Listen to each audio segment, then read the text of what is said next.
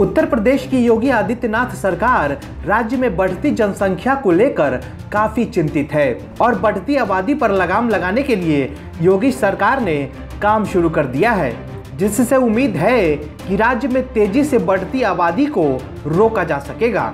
आपको बता दें कि योगी सरकार एक नई जनसंख्या नीति पर काम कर रही है। इस नीति के तहत जिनके दो से अधिक बच्चे हैं, उन्हें सरकार की कल्याणकारी योजनाओं का लाभ लेने से या पंचायत चुनाव लड़ने से रोका जा सकता है।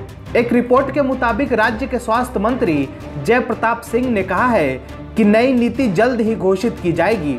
स्वास्थ्य मंत्री ने कहा कि हम अन्य राज्यों की जनसंख्या नीतियों का अध्ययन कर रहे हैं। उनमें से अच्छी नीतियों को लिया जाएगा और उत्तर प्रदेश में लागू किया जाएगा। मतलब साफ़ है कि सीएम योगी राज्य में बढ़ती आबादी को रोकने की तैयारी कर रहे हैं और जल्द ही इसे लागू भी किया जाएगा। खबर के मुताबिक दो से ज़्यादा बच्चे वाले लोगों को सरकार की जन कल्याणकारी योजनाओं की सुविधाओं को रोकने पर भी विचार हुआ है।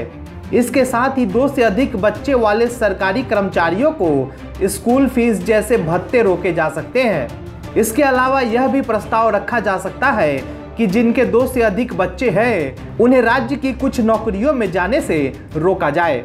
हालाँकि यह एक कठिन निर्णय होगा, लेकिन देश के विकास के लिए जनसंख्या पर लगाम लगाने की भी ज़रूरत है। और योगी आदित्यनाथ ऐसे सीएम हैं जो करे फैसले लेने से पीछे नहीं हटते। ऐसे में जल्द ही इस योजना को उत्तर प्रदेश में लागू किया जा सकता है।